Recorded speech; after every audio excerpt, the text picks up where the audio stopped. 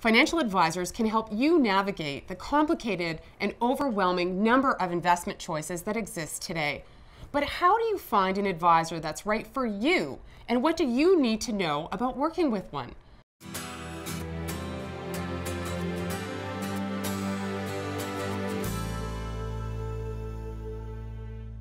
Hi there, I'm Kelley Keehn, author and personal finance educator, and we're going to look at what you need to know when it comes to working with and shopping around for a financial advisor. If you don't have the time, interest, or knowledge to put together an investment plan or choose investments, working with an advisor may be worthwhile for you.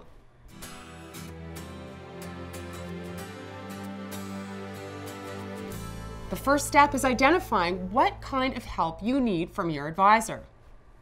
Advisors can work at banks or private firms, and not all are qualified to offer the same products and services.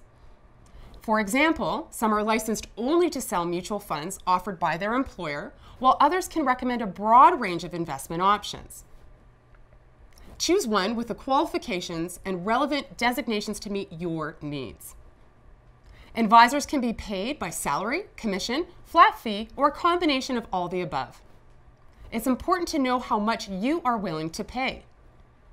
You'll need to know your needs and realize that there's more complexity to investing $250,000 versus $10,000, for example. Plus, many advisors will have a minimum investment threshold. If you're new to investing, you may want your advisor to guide you every step of the way. If you're more experienced, you may need an advisor who has more experience and is qualified to sell more complex investments and offer a wider range of options. Be aware of your own skill level and find someone who will cater to it. Finally, your risk profile can determine a lot as well, and it's important to work with an advisor that will recommend products to match it. Visit checkfirst.ca to learn more about determining your risk profile. Once you consider these factors, you're ready to start looking for an advisor.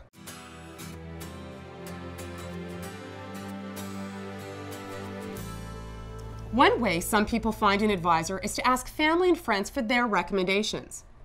But even if someone comes highly recommended by someone you trust, that advisor may not be right for your unique circumstances.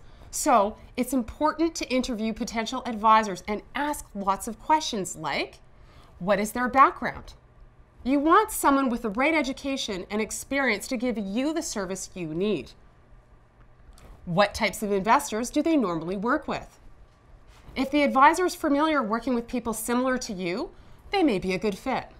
What kind of products do they offer? Some examples of what an advisor could offer include mutual funds, stocks, and scholarship plans. How are they paid? Part of the money you are investing will go to your advisor's fees, even if they're on salary.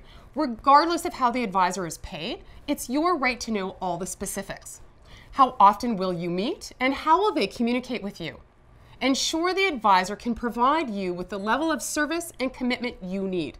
You can also ask if you'll be working with the advisor directly, their assistant, or some other colleague.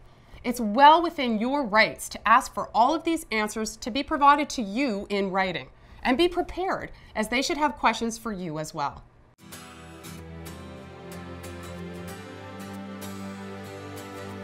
Once you've made your decision, but before you start working with your advisor, it's important to be aware of what they can and cannot do for you.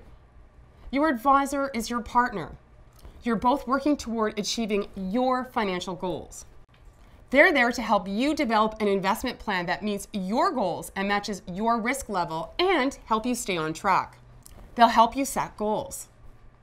They will provide clear and specific recommendations of investments that match your plan, explain why they recommend them, and also make you aware of the potential risks.